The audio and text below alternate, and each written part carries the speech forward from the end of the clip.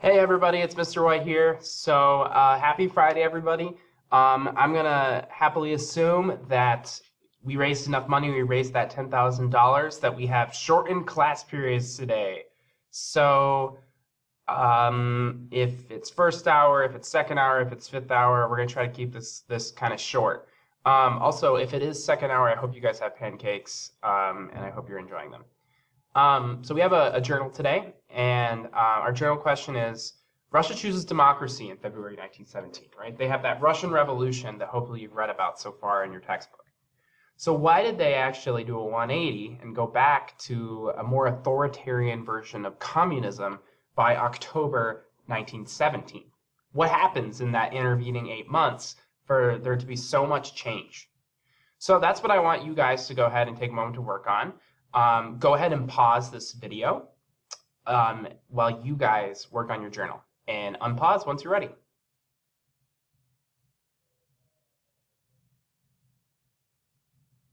Okay, so at this point, I hope you're done with your journal and let's get moving on and let's talk about the Russian Revolution. Uh, make sure you have your Russian Revolution notes out. Um, if you don't have them yet, this is a great time to ask your substitute teacher for them, and your substitute, your substitute teacher can easily provide those to you. You can also find those notes in Schoology. So let's get started. Before we get started here, uh, I might need a little bit of a change in uh, our song here. Much better. So, um,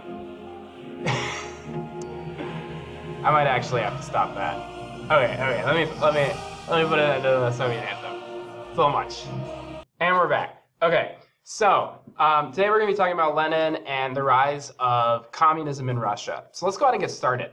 Um, why did Russia even break out into a revolution in the first place? What's going on in this crazy country? So um, our first kind of question is, what opportunities did World War I create for these communists? We know that the Russia is an important member of World War I, right? Um, the Tsar, unfortunately, is relatively unimaginative, incompetent, and incapable of actually leading the war effort. Um, he stays at home. He's not really seen as a good general or as a good leader during wartime. We also have this whole Rasputin issue, which is sort of awkward. Um, Rasputin, for those of you that don't know, is perhaps one of the weirdest men in all of history.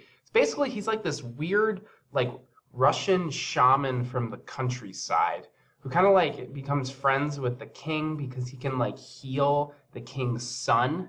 And the king's son is like has a disease where he um the doctors are not really making his disease any better and so uh, I can't remember the actual disease his son has, but it's believed that one of the reasons why Rasputin can heal his son is because the Russian doctors are actually not even providing his son with the right medicine. And in fact, they're making his sickness worse.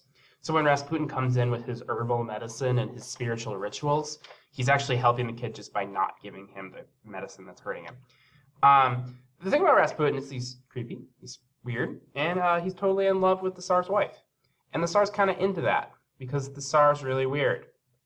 So like Rasputin is like in with the Tsar's wife, and the Tsar's like nice. So yeah, that's kind of weird. You know, just Rasputin being Rasputin. There's lots of Rasputin jokes to make. Um, he's also really, really huge and tall, and he's just a strange guy. Anyways, the Duma, the legislature in Russia, um, is meanwhile kind of trying to push for more reform, pushing for rights for minority groups and, nation- and minority nationalities. And so there's just this tension forming. You have this really incapable Tsar who's corrupted by this crazy Rasputin guy. And then the legislature is like, we want reform. And the king's like, nah, I don't feel it. So um, the goal is from the Duma and from a lot of these politicians in Russia is to improve the amount of control that local politics has because they don't trust the national government and they don't think the national government under the Tsar is very competent, which is a pretty fair criticism.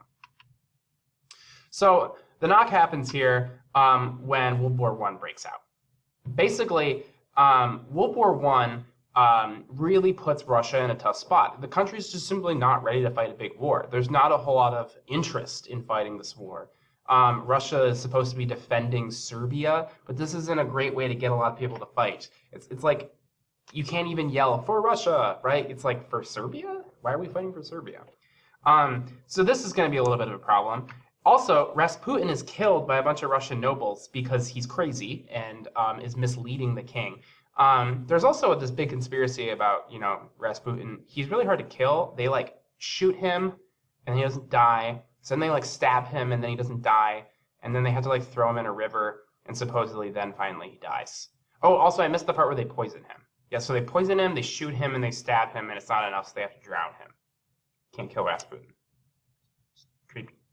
So um, Germany sees this as an opportunity. Um, this all of this chaos going on in Russia over Rasputin's death and how crazy un, the uh, and unpopular the war is by 1917. Uh, the German government actually cooperates with Lenin because Lenin is actually in exile. Right? Lenin's actually been hanging out outside of Russia, um, in mostly in Germany and Switzerland. Um, he's welcome there because he's a communist, and Germany actually, you know, has a socialist party and a communist party. On top of that, he is against the Tsar, and that's perceived as desirable because Germany's at war with Russia, and anything that works against the Russian government is good for Germany. So Germany actually helps Lenin uh, get a, a, train ticket back to Russia. And so at this point, already the Romanov Tsar family is, is on the brink of abdicating. You know, popular resentment against them is so heavy. So um, actually, by 1917, um, the conditions are all there. But the problem is Lenin is still stuck in Germany and Switzerland. He, he, isn't, he hasn't been able to make it back to Russia yet. And on top of that, the Communist Party was shocked that this popular revolution just kind of appears out of nowhere. So in February 1917, the people are ready for a revolution, but the actual elite revolutionaries led by Lenin are not. They're specifically not ready for a revolution. So actually, the first people to lead this revolution are the women. Uh, it's interesting, right? This feels just like the French Revolution. In the French Revolution, the first massive uprising was the Women's March to Versailles, right? The Women's March to Versailles is one of the biggest moments, right? And um, it's it's sort of uh, there's like a little bit of a, a pattern going on here. Go women. So the Petrograd women and the Petrograd workers revolted, um, and it seemed very quickly that all of Russia and the, its government seemed to collapse. There was no conspiracy. There was no plan to destroy, um, or sorry, there was no plan to input a certain kind of government into power, right? There were no communists leading this revolution. There were not even really much in the way of socialists leading this revolution. It was just a mass 1848 style revolt. For that reason, there's no clear leadership, and that's going to become a problem. This is what leads to the massive amounts of looting, destruction of property, etc. So the question really quickly becomes who's in charge of this revolt? Um, it's not the Duma, right? The Duma is not leading this revolt. It's not the Tsar. The Tsar abdicates by March 2nd, leaving Russia in the hands of the Duma. Um, and eventually, the Duma and the Petrograd Soviet, which is sort of this, you know, communist collection in the capital of, of Petrograd, um, agree on creating a provisional government. The provisional government is designed to be temporary. They put Alexander Kerensky as their leader. He is a centrist, and it is run mostly by members of the old Duma political parties. Uh, it will bring considerable reform to Russia, like uh, improvements in individual rights, in women's rights, but because it continues the, the Tsar's policy of Russia being part of World War I and fighting World War I, people hate the provisional government. It doesn't matter how many rights the provisional government brings the people. It doesn't matter how much reform happens under Alexander Kerensky. His policy of continuing World War I is so unpopular that it destroys his whole reputation. So this is part of the reason Russia chooses communism. Um, I want to give you guys a moment to, to read Lenin's kind of take on all of this. He's still in Switzerland um, in April 1917. This is two months after the revolution really begins but before Russia settles on communism. So he's going to write this piece from exile in Switzerland. He's going to be giving his little appraisal, right, of the political situation. He won't really acknowledge any of the achievements of February. He won't acknowledge the ways in which the provisional government did any kind of reform because he was trying to push this narrative that we still haven't overthrown the bourgeois, right? He still thinks there's more to do. Um, and because he's not in charge of the revolution, he thinks that this revolution isn't complete. So he's going to make a call for class war, right? What matters not so much is the historical process, but rather the guidance of the proletariat by a determined political leader with the will to power at the right moment. And that, in this case, it's going to be Lenin. So go ahead and um, read that on the back of your note sheet. It shouldn't take you too long. So go ahead and pause the video. Spend about five to 10 minutes reading Lenin's April Theses. So read the April Theses. What's Lenin's main point? You can pause.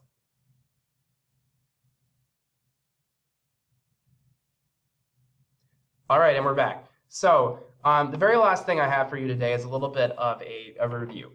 Um, so at this point, um, you've read the April Theses. You know what kind of the lead up to the February Revolution is. Um, and so at this point, I kind of want to play this video from Epic History. Um, I'm going to mostly just let the video play, but I want to pause it a couple times to make some notes on a couple things. Um, so let's just get into it.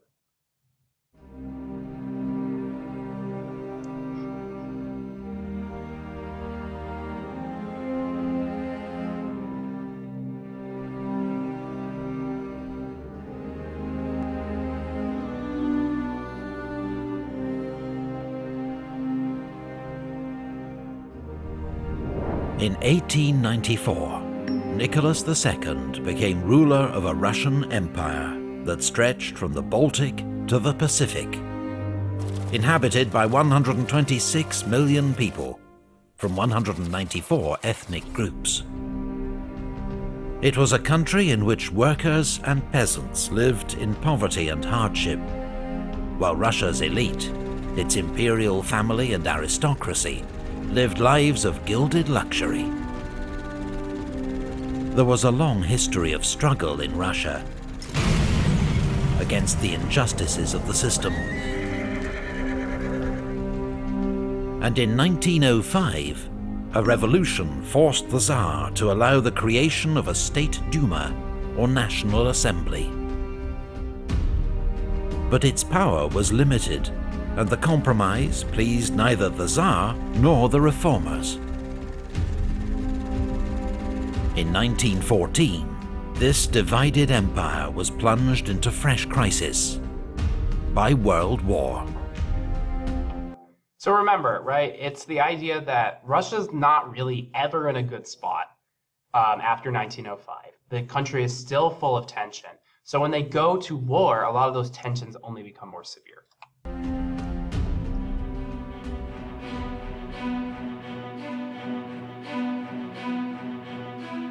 World War I was a disaster for Tsarist Russia. At the front, the country suffered a series of devastating defeats, while at home there were food shortages and economic chaos.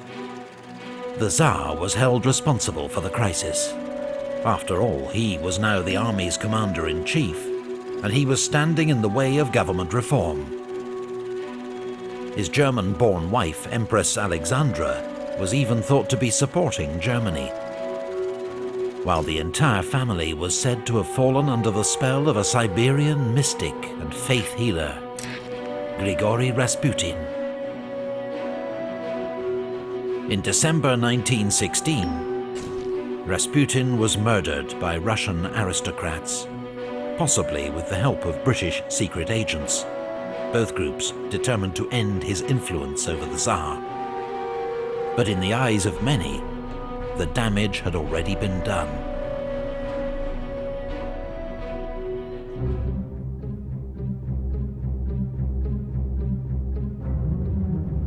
So by 19, uh, late 1916, early 1917, the situation in Russia is pretty out of control. In a lot of the major cities, there are lots of protests, there are lots of revolts. And the Tsar is just pretty incompetent. He just doesn't really realize how serious the situation is getting at any point in time, in part because of this weird influence that Rasputin has. He almost brainwashes the king into thinking, or the Tsar, sorry, into thinking that everything's just fine.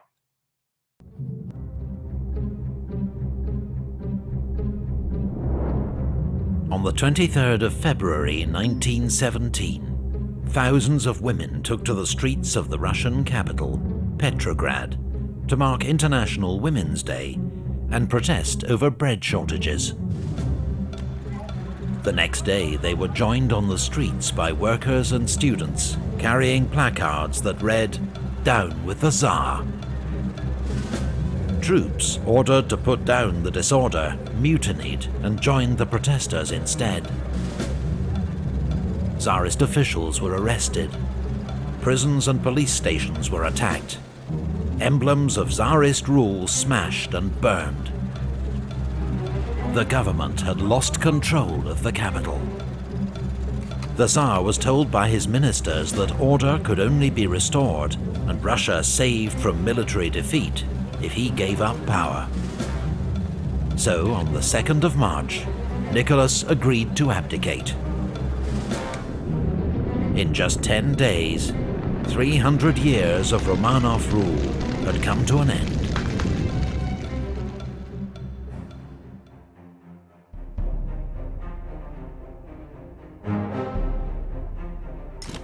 The February Revolution had been remarkably swift and bloodless, and hopes were now high for the creation of a more democratic, more just Russian state. Members of the State Duma, the National Assembly, had formed a provisional government, which was to hold power until a constituent assembly was elected, to give Russia a new constitution. But in reality, the provisional government shared power with the Petrograd Soviet, a council elected by workers and soldiers that controlled the capital's troops, transport and communications. The Petrograd Soviet, dominated by the Socialist Revolutionary Party and the Marxist Menshevik Party, was much more radical than the provisional government. So the provisional government from the people in the State Duma is made up of a lot of centrist politicians. It's where Alexander Kerensky comes from. The Petrograd Soviet, and what a Soviet is, right, is this council of, of basically socialists and communists. So what's interesting here is they're actually forced to share power with this council in Petrograd because they actually control basically the military because the military agrees with their ideas. So the provisional government legally or supposedly legally, has all the power. But in this case, practically, they're reliant on the Petrograd Soviet to get anything done. Yet it supported the government's decision to continue the war and honour the commitments that Russia had made to the Allies. It was a fateful decision that ultimately played into the hands of one of the smaller parties, the Bolsheviks. Their leader, Vladimir Lenin, recently returned from 16 years in exile, bitterly opposed the imperialist war. He also demanded the immediate redistribution of land, from rich landowners to peasants, and the transfer of power from the bourgeois provisional government to the people's soviets or councils that were springing up across Russia. The Bolshevik program was summed up in a simple slogan bread, peace, and land. And as Russia's economic and military crisis deepened, its appeal to the masses grew and grew.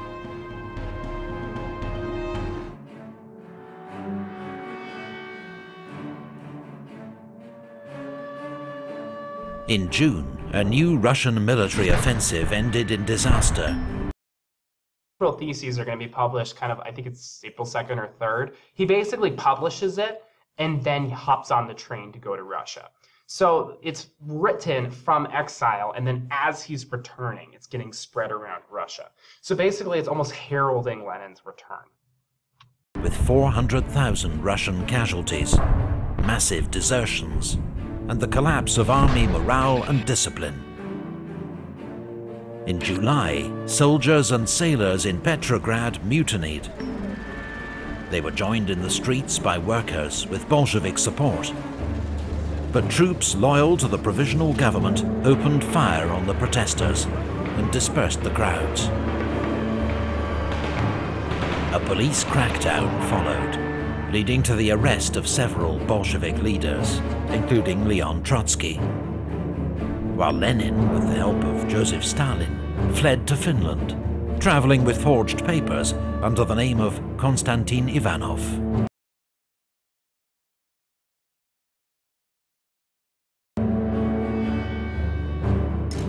A socialist and stirring orator named Alexander Kerensky became Russia's new prime minister and was hailed as the man who would save Russia from anarchy.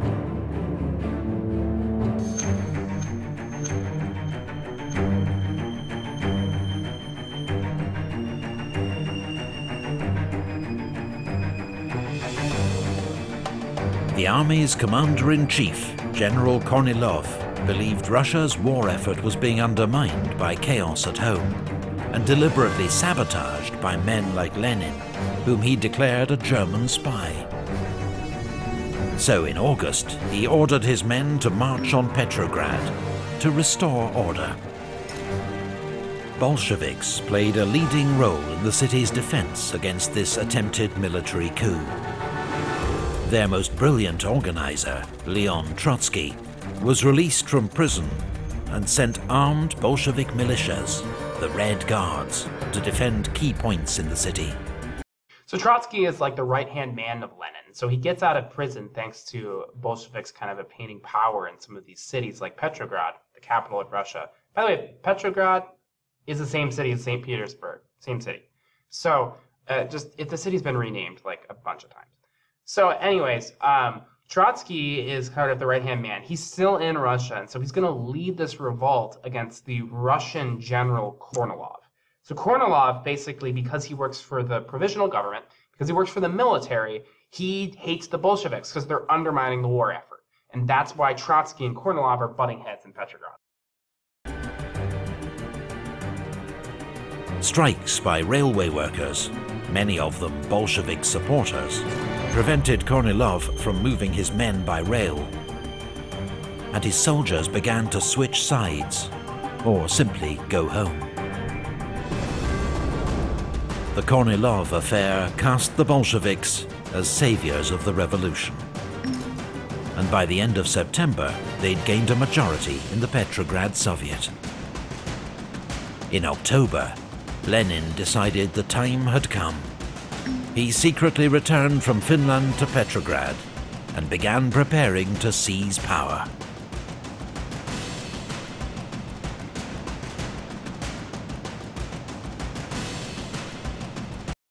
This is such a telling quote from Lenin.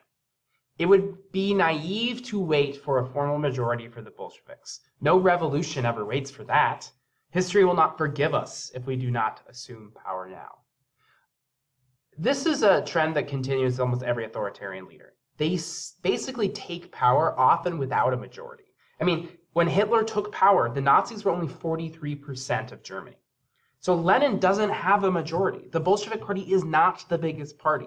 More people believe in more democratic forms of socialism or less radical forms of communism than what Lenin believes in. But the Bolsheviks take power because they have armed On the 25th of October, the Bolsheviks made their move. Red Guards and loyal troops seized key points around the capital, and that night they stormed the provisional government's headquarters at the Winter Palace, an event later immortalized by Bolshevik propaganda and the great Soviet filmmaker Sergei Eisenstein. Kerensky fled the city at the last moment, narrowly avoiding capture. And the next day, at the Second All-Russian Congress of Soviets, Lenin announced the overthrow of the provisional government.